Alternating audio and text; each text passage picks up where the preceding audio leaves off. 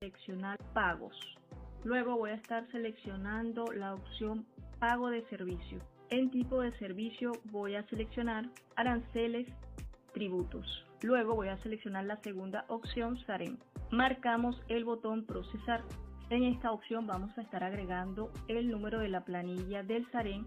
Son 11 dígitos en total. Ingresamos el número y marcamos el botón consultar. Nos muestra la siguiente información con los datos del pago que vamos a realizar.